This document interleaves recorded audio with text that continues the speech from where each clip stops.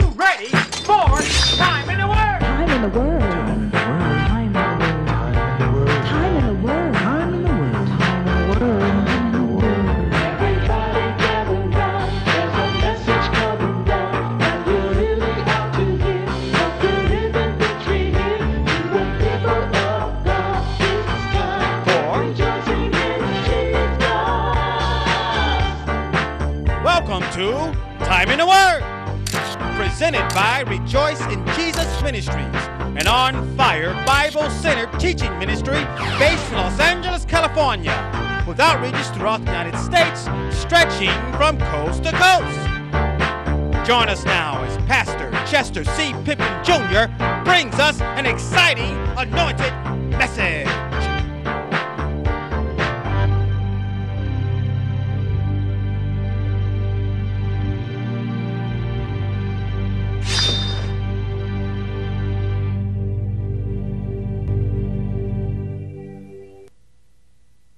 So I want to start off um, just sharing a little bit about your spiritual DNA. Have any of you guys ever done those ancestry DNA tests or that? Oh, everybody's not into that. I see Joyce back there. Okay, well, that's something I just recently did. Me and my sister, and um, Jeremiah and Joey we all sent, you know, they have you uh, like spit inside of us something and send it off, and then they can find out stuff about where you're from and who you are and all of that. So we had we had um, run the test, and it takes about six weeks or something, six to eight weeks for it to come in. So you kind of have to forget about it for a while, and then it comes in. Okay, now that I remember being really excited about it, like trying to find out. You know, you just want to know what, what, where you're from and all this kind of stuff. I don't know how. I think they're pretty accurate, but they kind of find the regions that that you're from, kind of people that have DNA similar somewhere. Da da da da.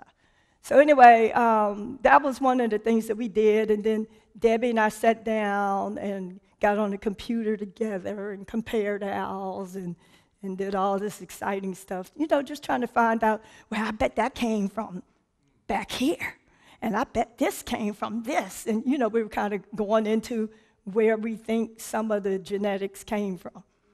So um, it, it was fun doing that. But in this message, what I want to talk about is your spiritual DNA. Because just like you can find out things about yourself by looking at, I looked up that, looked at, um, up the name DNA. You guys, does anybody know what that word is? It's an interesting word. Let me see if I can find it. It's called deoxyribonucleic acid. It's the genetic code that determines all the characteristics of a living thing. So whatever, whatever your DNA is comes from your parents. It kind of makes you who you are today. Now, of course, our decisions and an environment and things that we go through have some type of influence on us. But when you first get here, have you ever noticed kids? Like you can kind of see a little attitude on a baby. You guys ever seen attitudes on the babies? They kind of got this little, some kind of, this thing that they do and they haven't really learned yet a lot of times stuff comes through your DNA. And, you know, if you don't like something, you blame it on the opposite sex parent. So you're like, that's, that's you. Did you see that? That was you. but the DNA is what, it's, it kind of looks like a, a ladder. When you look at the picture of how it's laid out, it looks like a broken ladder, kind of. And it, it actually shows things that you got from your father, things you got from your mother, the grandparents, great grandparents, and it goes back. And so when Debbie and I did ours, we were like, well, what's going on? I thought, I thought we were going to find things like, because, you know, we had always heard this Indian this and that was in the family and this is in the family. But almost everything came from either an African root or European so I said, now, what is that about? I thought it was that middle stuff. The middle stuff, I, it's in there somewhere, but I, I didn't find it yet. So I said, what, what is going on with that?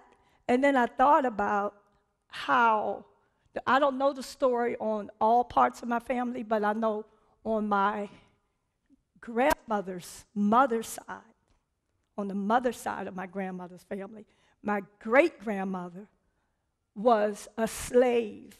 You know, because I'm from Virginia. See, you guys, you guys didn't migrate just from Virginia. I, I migrated right when the slaves came in. When they came from Africa, if you look, if you look at the United States and you look at Africa, when the slaves were brought on the ship to Virginia, I mean, to right in the south southern states, which Virginia is one of them. So I have stories of when the slaves came in, what happened.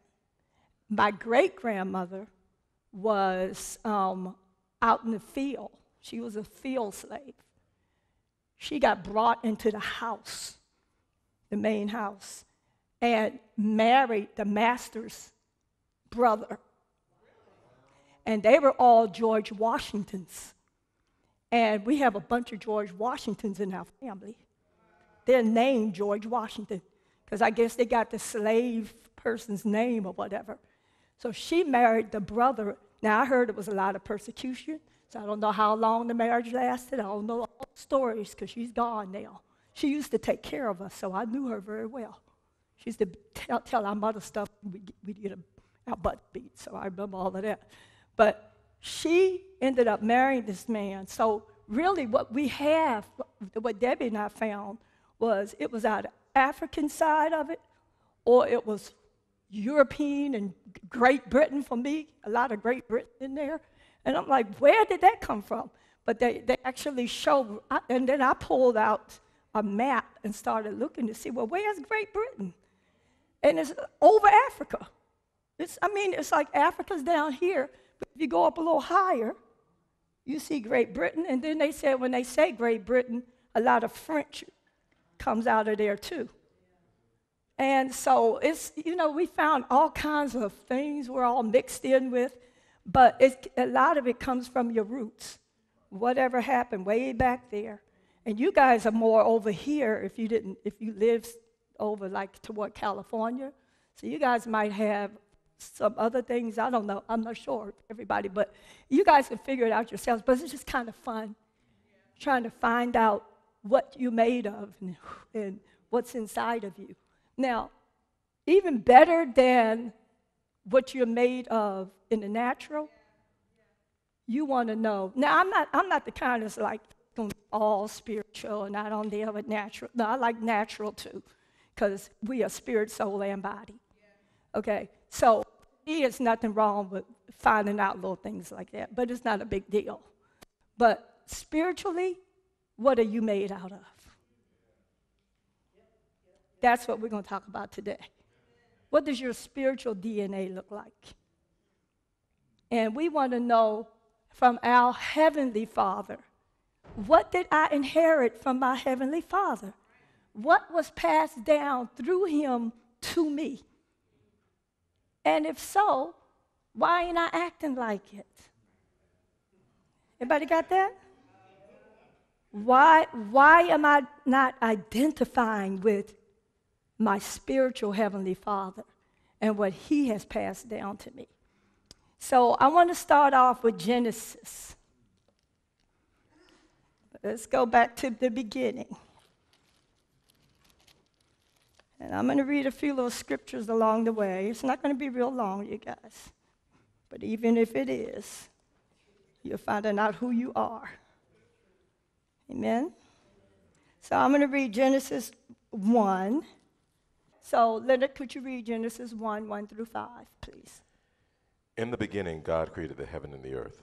And the earth was without form and void, and darkness was upon the face of the deep.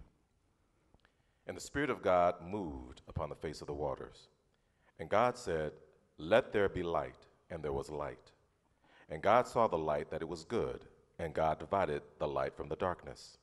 And God called the light day, and the darkness he called night. And the evening and the morning were the first day. Okay, so that starts off just talking about how God created from the very beginning. In the beginning, there was who? Okay, what does God mean?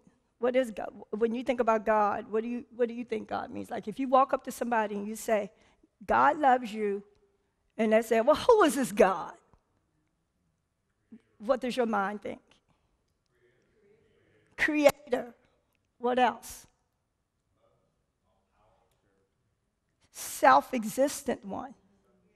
Okay, now I was reading something today, and it was, it was, they were trying to give an analogy so we can kind of, you know, because we have to try to comprehend with our pea brains. So they were saying that if you were in a room that was totally empty, had nothing in it, and I mean nothing, not even a little piece of dust, nothing is in this room. No matter how much time goes by, nothing can never lead to something. So, thousands, millions of years can go by. If that room has nothing in it, that room will continue to have nothing in it. Um, if it doesn't have anything, if you put something in it, but it is not something that can reproduce, then the only thing that will stay in it for thousands of years is that one thing you put in there. So, say we, were, we had this room, this room, nothing is in this room. It's totally void of anything. And somebody was to come and set this desk here, and this is the only thing in this room. I mean, it might maybe uh, deteriorate over a period of time, but the point is the only thing that's going to be in this room years from now, uh, it, it might be in a different form, but is the, le- the leftovers of that desk. It's not created to reproduce anything. But if you were to bring an animal in that could reproduce with another animal, then you leave the room. You could come back later and that room could be full because this was born and this was reproduced and that was reproduced. So the point that they were making was no matter what, if you don't have something that can reproduce, then it's not going to increase, it's not going to grow. And the only one, the only one that can cause something to come out of nothing is God.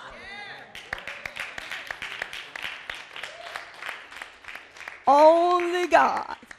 Only God can walk up in a room like this and look around, and there's nothing in the room, and say, Let there be, and there is. Only God.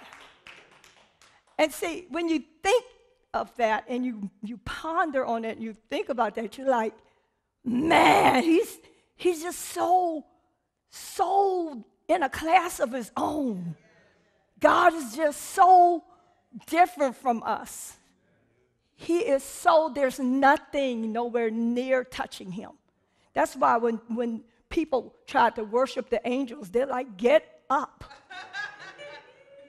they're like, no, get up.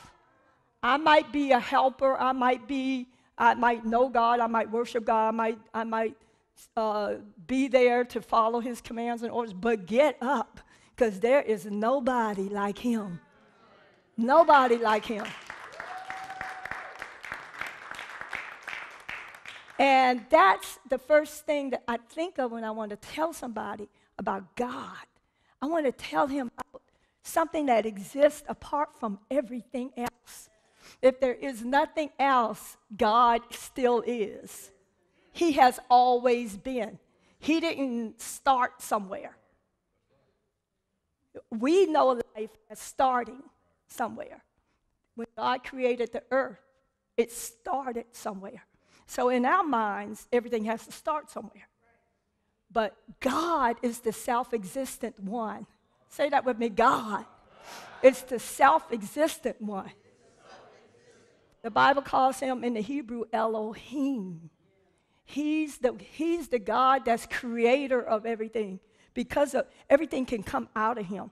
All he's got to do is want it, decide he wants it, speak it, and it happens. Now, this is who we are dealing with. You get that? This is who, when we say, I don't know how God's going to work this one out, I don't know how he gonna handle this. Why can't he? He can make something out of nothing. He can change your circumstances in a, a second of time. He can make your little, you, you might have a little, you know, I, I don't ever make, I don't, my bank account never goes over $700. When I get to 700, I think I'm rich. God might be like, oh, are you dealing with you and what you can do? Are you dealing with the one that creates? Are you dealing with the one that can take your penny and turn it into thousands and millions of dollars? I was listening to something today. They were talking about some man that had so much money that they named three different people, Oprah and two other people, and they said that man makes so much money that he had $5 million in the bank somewhere and he forgot about it because it was so insignificant in comparison to his billions. He had billions. So 5 million, somebody had to remind him, you have an account over here with $5 million in it. And they said this man made so much money, it made Oprah's money and named two other people. Their money was like nothing in comparison. They said that 82% of the money is in the hands of 1% of the population.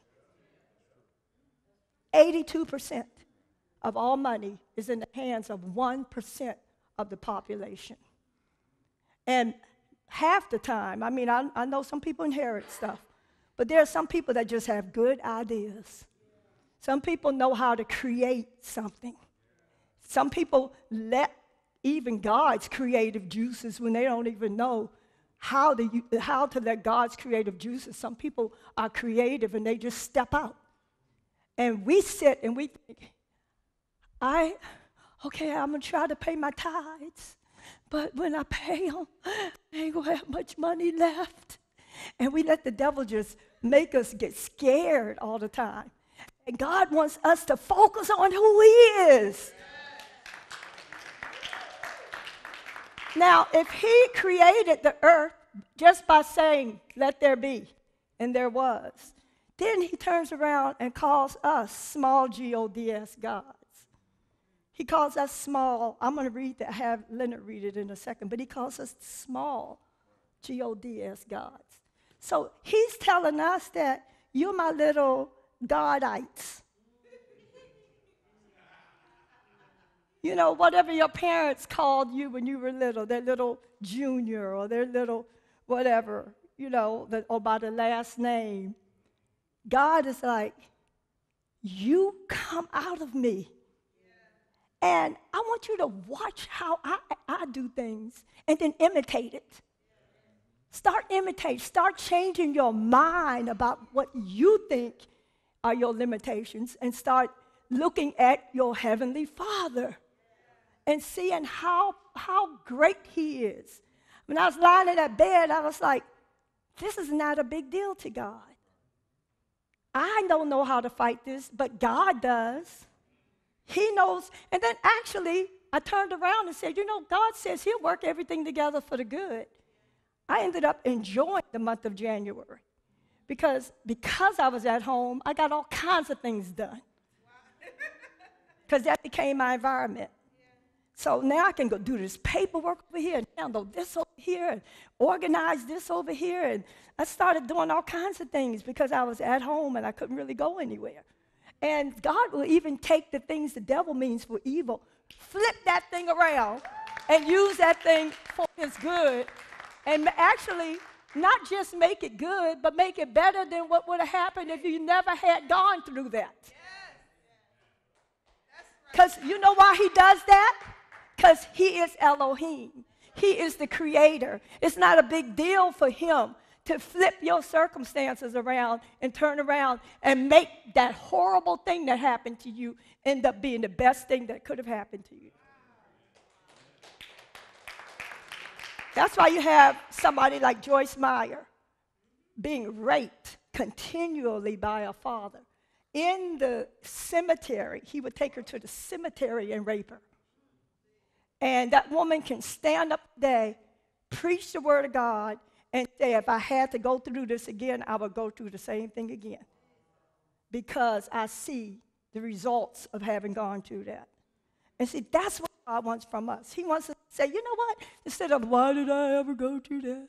And why did God let me, why did He let this happen to me when I was little? And what? Take that thing and say, you know what, devil? What you meant for evil, God meant for good. And guess what? I'm a little Godite. I'm a little, little small God as God, but I'm still a God. And I'm going to get in here and create with that thing. That thing that you meant for evil, God's going to take that and it's going to end up being the thing, the stepping stone for me. And I'm going to step out and fulfill purpose. And God will not, the devil will not stop me in what God has for me. That has to be the victory. That has to be the fight. That you, you know what? We all got to do it. And guess what? I can't do it for you, and you can't do it for me. You can pray for me, but I got to do my own battling. And guess what? God says it's a good fight. It's a good fight. Say that. It's a good fight. I'm going to fight the good fight of faith. And f- see, part of fighting the good fight of faith is holding on to your true identity. It's like if your last name is small G O D God, if your last name, well, I'm, I'm a little God, then you hold on to that and you got to renew your mind. Bible tells you to be transformed by what? Renewing of your mind. Now, people don't like you when you're too secure. You guys hear me? And I'm not talking about being cocky because if you know you're the small G-O-D God, it ain't nothing to be cocky about. You know that you all you're doing is trying to imitate your heavenly Father. The one that gets all the glory and the credit is Him. So nobody's speaking of arrogance, but we're talking about confidence. Jesus was confident in who he was. They got so mad with him when he said he was the Son of God. They got so mad, the Bible says, that they were they just, oh, he blasphemes. Imagine God blaspheming. Yeah. That, they, they, they, it, it makes people mad when you know who you are. When somebody uh, looks at you and says, Oh, you just never seem like you're going to get it together. And you say, No, I'm not going to get it together. I already got it together because grace says that it was already done. See, we're not trying to make something happen. By grace are you saved through faith, and that not of yourself. So you're not trying to make something happen. Grace means God went ahead of you and made it happen already. And because God went ahead and made it happen already, He's not trying to get you to work hard to try to be a certain way. He's trying to get you to step out of that old shell and realize this is who you are. See, did you guys see the difference? There's a big difference in trying to make something happen and, and trying to uh, walk in what's already been done. It's already been done. You are already God's child. All you have to do is believe on Jesus. How many believers out here? How many ask Jesus into your heart and you really believe you are a child of God? If you don't think you're a child of God, then we got work to do with you. Because you got to get in the kingdom first. But if you're already in the kingdom, then right now, all we got to do is start renewing our minds. We've got to step into this new identity and we got to walk in it. And then you got to go along, be creative, and step out. And let the Holy Spirit tell you how to create what, what He wants from you next. You know, if you see things that don't look like God, what do you do? Because we live in a politically correct society that wants us to go along with some foolishness. With some foolishness. Like God created Adam and Eve, not Adam and Steve. And I don't care how politically correct it sounds. God created a man to be with a woman. I'm not going to stop preaching that. And God did not create you to change who you are after you get here. When you get here, whatever you came here as is how God sees you. And when you go out of here, you're going to account to Him for what He created you to be.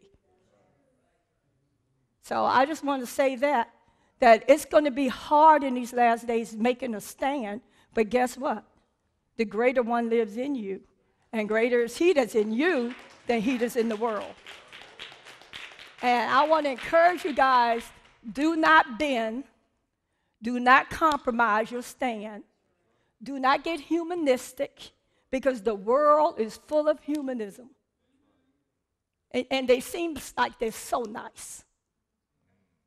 It's like hold hands and sing songs together. We are the world. Come on, everybody, let's sing it. We are the children. No, you like, I ain't singing that.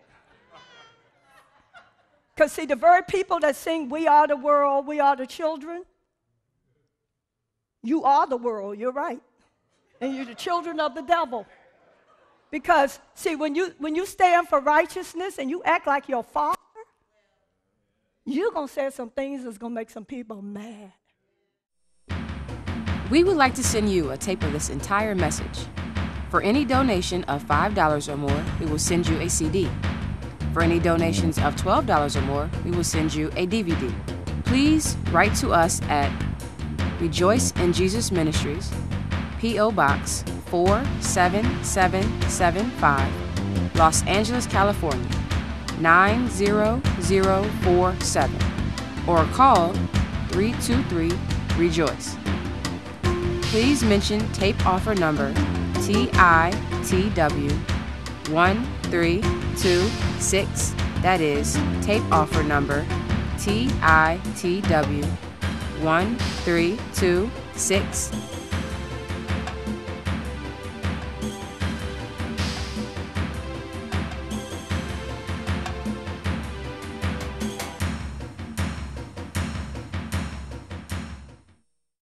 Hi. You know the Bible says that all things are upheld by the power of this word. That means when you put the word in your heart, it will produce life and health to all your flesh. It will also produce faith so that whatever you come up against, you can overcome it. But remember, you won't have the victory you desire unless you make a decision to not allow anything to get in the way of your intimacy with Jesus, nor allow anything to distract you from your time. Thank you for watching Time in the Word.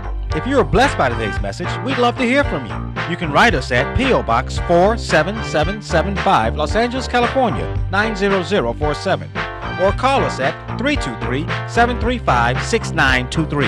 That's 323 Rejoice. And if you're in the Los Angeles area, visit our worship service on Saturday nights at 7:30 p.m. 1304 Cochran Avenue, corner of Cochran and Packard Street. And again, thank you for watching Time in the Word.